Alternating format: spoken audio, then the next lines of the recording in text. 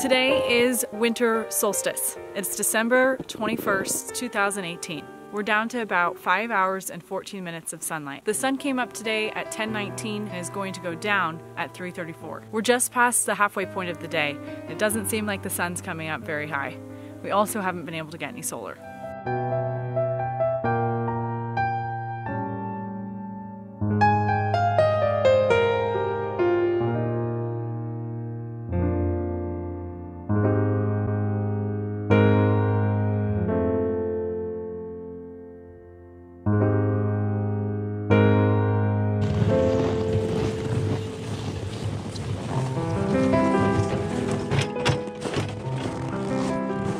After the earthquake, we noticed that we were getting a lot of sediment in our water when we were pumping it up from the well. So what we did is for our drinking water, we got one of these off of Amazon and this thing's actually pretty cool. It comes set up to hook right onto a spigot. And I think it's meant to go on an RV. So they just take your standard 10 inch filters. It is negative three today and our well water has been perfect. It hasn't frozen in the pipe. This is the water that's coming out of the well without the filter. So it's not too bad at all, but um, if you let it settle for a while, you will get a little bit of sediment on the bottom. I'm gonna hook up our filter and I'm gonna fill up another glass so I can kind of show you the comparison of uh, the filtered water versus non-filtered water. So I'm gonna stick the filter on and fill up our drinking water for us. And these threads are a little bit, they got some water on them and they're frozen, so we're gonna hit it with the torch real quick.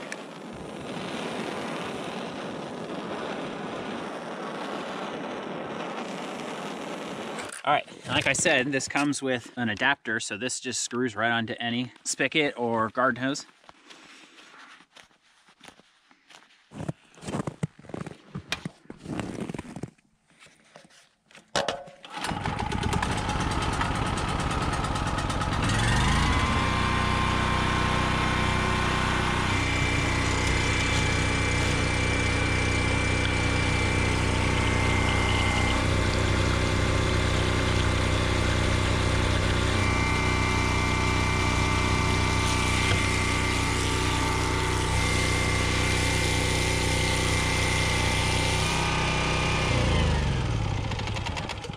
All right, so these filters, I think we went to Walmart and the actual replacement filter that goes inside, we got two of them for $8.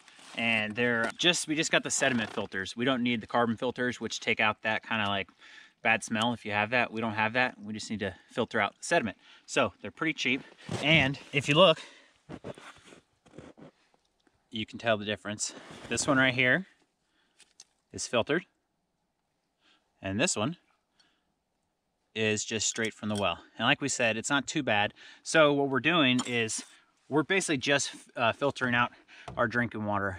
Our um, water we have inside our in our storage tank that we're using for dishes and showering, stuff like that, we're not filtering it, just so we don't go through our filters as fast.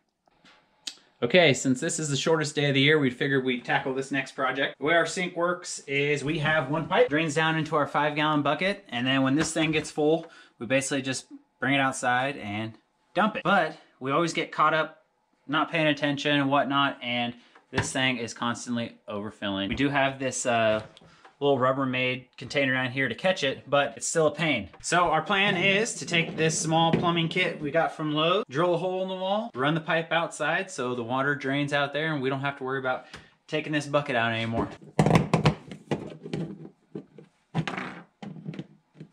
As you guys know, living off grid and this kind of lifestyle is pretty new to us. Seems like we're constantly upgrading stuff and changing the way things work. We thought this bucket system would work fine, but we're getting sick of it. And for like $12, we're gonna fix it.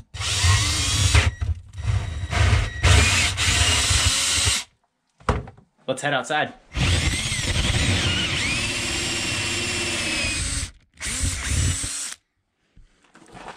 Can I say something?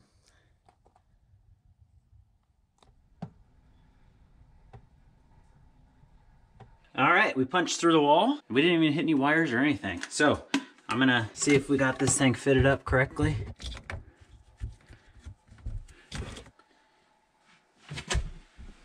All right, so we got our plumbing done. Let's test it out.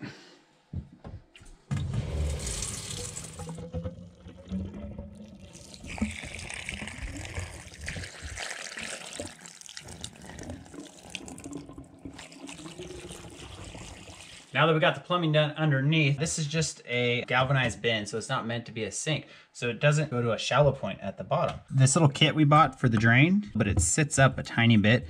So the water doesn't really want to go in there and it's kind of hard to push, you know, food and stuff down there. I'm going to take that off and there's a black gasket in there that's meant to go on the top. And I'm going to take that out and replace it with silicone.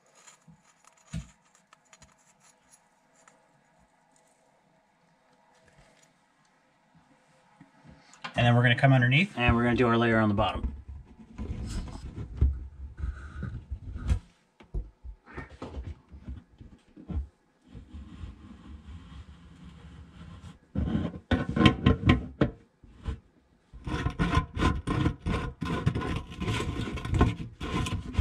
I'm just hooking all of our plumbing lines back up. Okay, let me clean this up in here. And it looks like we got a pretty nice uh, seal and that edge went way down. So it's gonna be a lot easier to, you know, push your water and whatnot down the sink.